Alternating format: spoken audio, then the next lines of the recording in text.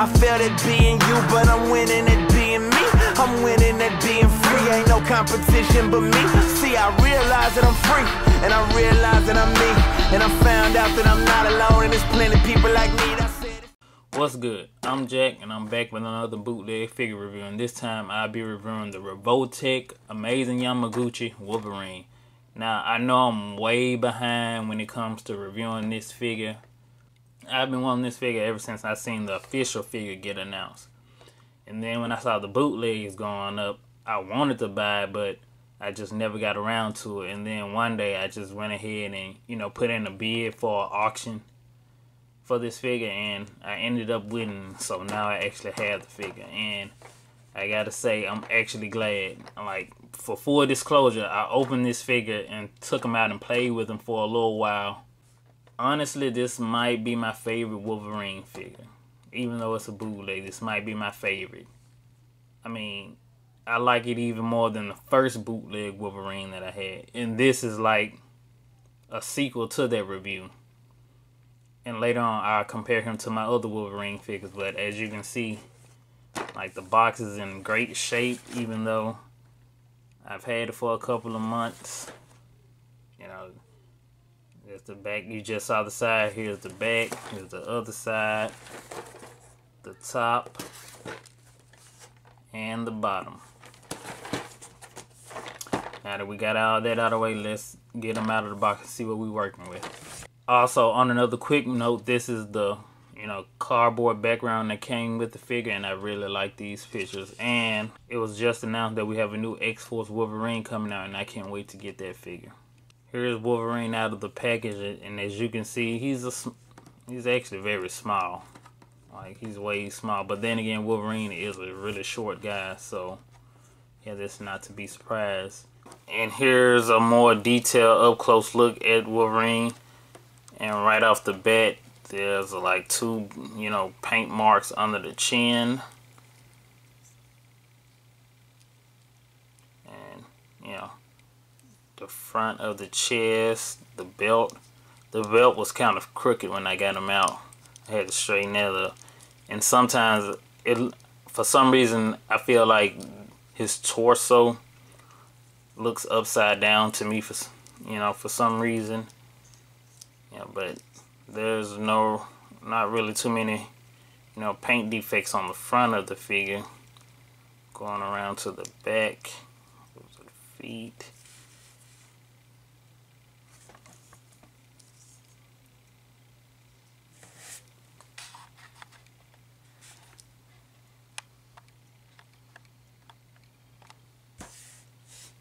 Here's the back of the figure and not a lot of, you know, paint defects on the back. Not that I can tell.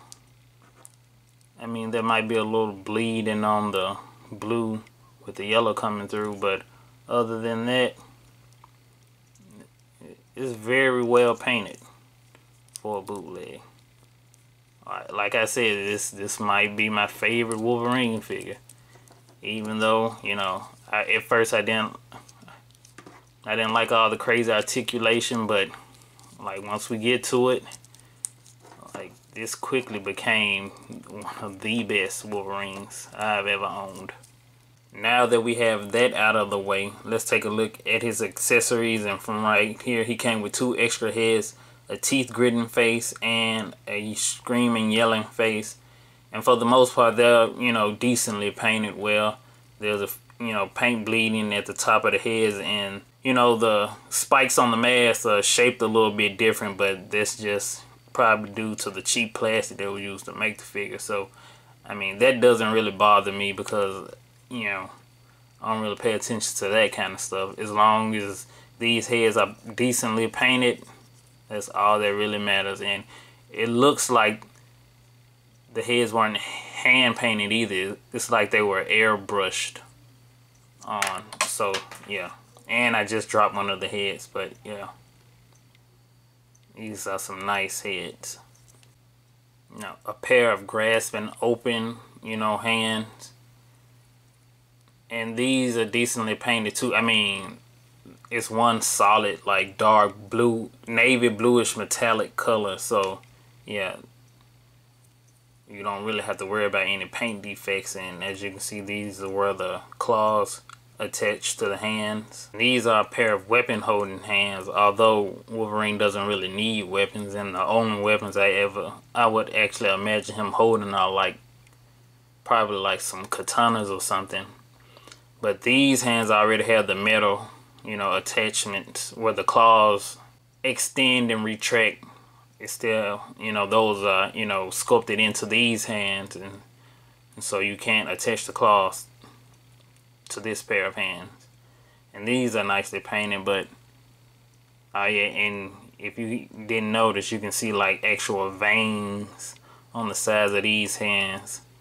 Like he's really, you know, he, he like these. He he'll probably grip a sword a little bit way too hard if he got veins popping out of his hands like that. But Wolverine is a really intense guy, so yeah, I wouldn't be too surprised. Here we have a cigar holding hand, even though he doesn't come with a cigar. And on this hand, you can see the veins popping out as well. So he smokes cigars very intensely too. Although I'm glad he doesn't come with a cigar because, you know, I don't like smoking. And I hate the smell of smoke. And I wouldn't want my figures actually smoking. So everyone else's Wolverine can be the type that smokes cigars, but mine won't. And here we have his claws that, you know, can attach to two pairs of the hands. You know, and I like, I actually like the shape of these claws way better than the shape of the claws for the Marvel Legends figure. Like, I wish the Marvel Legends figures had claws shaped like this. Although, you know, maybe at one point in the future they'll have claws just like this as well. And here we have the little slashing effect piece. I mean, I'm not going to use this at all. So, it's just going to be here. It's just a clear piece of plastic. I mean, I like the look of it. I like the shape of it. But I'm probably not going to use it. So, yeah. And last of all, he came with some extra pegs and a stand. Which is always good. To, it's always good to have, you know, a few extra clear flight stands. But I'm just probably gonna just gonna throw this stand in with the rest of my stand. As you can see, he didn't really come with a lot of accessories, but now that we have that out of the way, I can get into his articulation. He can look up that much. He can look down like that. I think he has like a double peg in his neck and head. I mean, his head gets a lot of range of movement. Alright the arms can go up like that because of the double ball peg.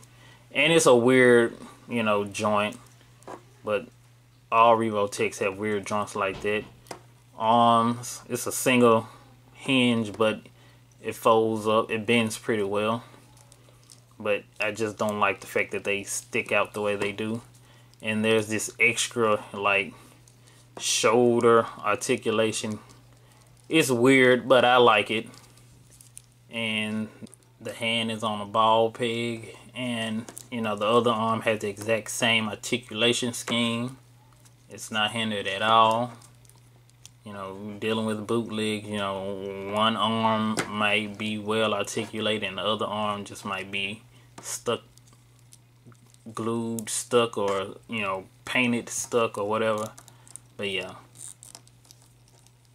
As you can see a lot of range of movement in these joints. Like he can punch himself in the face. Alright, here we have a waist, his waist joint. He can bend down that much and bend back. I mean, there's a little gap in there. And in the back, it's weird. You know, the belt was on kind of crooked. And so you can see the little gapping right here at the waist. But, I mean, not too much and I just noticed there's a little paint chipping right here where the blue meets the yellow on his butt. Alright, the waist swivels side to side at the top and the bottom of the waist. Legs can, you know, kick out that much. When I first got it, you know, this, this, you know, thigh swivel was very tight. I had to run hot water on it. And then the knees were very, were like, you know, painted stuck and so I had to pop those off and you know run hot water with those. It's not a double jointed knee, but it, it has a great bend. There's like a boot swivel. It's on like a little ball hinge, a nice ball hinge for the ankle, and we have some you know pivot side to side and a toe hinge. And it's the same thing on the other side, you know, thigh swivel, knees can bend pretty good. Ball jointed ankle swivel. I mean ball jointed calf swivel. You know, ankle pivot and rotation with the toe hinge. Alright, now let's get into the height of this figure. This figure stands about no, about five and a half inches. You know, just under five and a half inches. Like one hair under five and a half inches. So he's kind of short. I mean, but he's the perfect Wolverine height and the perfect build actually. Like I really I really enjoyed this figure, but also I just noticed that he has blue markings on his pants. But like I said, this that doesn't really bother me that much. I'm not a perfectionist, and this is a bootleg, so I mean it's as good as it's gonna get. And also, I had to take notice that the yellow on the head and the yellow on the body are two different colors, and the you know the painted belt buckle is it's missing some yellow paint on the belt buckle as well. But other than that, it's perfectly fine. Now with all that out of the way, let's get into some size comparisons. Here he is next to an articulated Icons Ninja and a Mythic Legions Delphina. A Mattel WWE Goldberg figure and a Mattel DC Multiverse Jessica Cruz Green Lantern figure. NECA 90s movie Turtles Donatello and Hasbro Lightning Collection White Ranger. And like these three represents my childhood growing up in the 90s perfectly because that's all I used to watch. Power Rangers, X-Men, Ninja Turtles. SH Figuarts Infinity War Hulk and SH Figuarts Super Vegeta. And these two are two of my favorite characters of all time. NECA God of War 4 Kratos and Storm Collectible Street Fighter 5 Ken. And here he is next to my various other Marvel Legends Wolverines and X-23s and Deadpool. We have the Tiger Stripe Wolverine, the Brown Suit Wolverine, X-23 Wolverine, X-Force X-23, and X-Force Deadpool. Here he is next to various other X-Men characters, Omega Red, Sabretooth, Jubilee, Psylocke, Gambit, and Beast. Now, I do have Rogue and Dark Phoenix, but I didn't feel like, you know, digging down into my action figure chest to get those figures out just for this review. I actually had these figures out and on hand, so these are the only X-Men figures that I use for the review since she's a bootleg Revoltech figure too, my Judy Hopps figure, and my first bootleg Wolverine, the Marvel Legends Puck series bootleg Wolverine. All in all, I gotta say I love this figure regardless if it's a bootleg or not because this figure is amazing. This is one of the best bootlegs I've ever owned, and I just uh, I just love this figure so much. Like, look at that articulation. Like he can crouch down. He can get into a blocking pose. Like it's just so amazing. Like I mean his articulation is funny looking, but like it's amazing. Like I, I can't keep saying it's amazing. Amazing Wolverine. I wonder if they ever made a comic book series of that. Anywho, but yeah, but since, oh yeah, since I didn't do it earlier in the video, I'll try switching out the hands right now. And I also noticed that this pair of hands is, actually the only pair of hands that you can, you know, put the claws on. it's kind of tough, but it's oh, and yeah, the peg split just like that. Oh, that sucks. Right at the end of the video, just when I was saying this was one of the best bootleg figures I've ever had. He goes and something like this happens. Just my luck.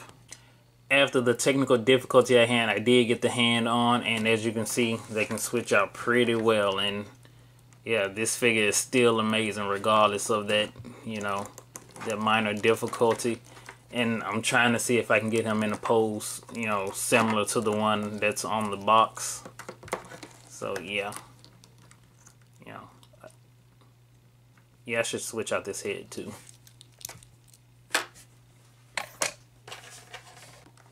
It was a lot easier switching out the head than it was for me to switch out the hands. But as you can see, this thing, like, you can get into some crazy poses with this figure.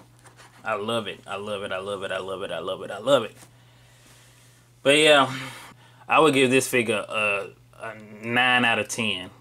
You know what? I'll just give this figure a straight up 10 cuz it's that it's that amazing to me.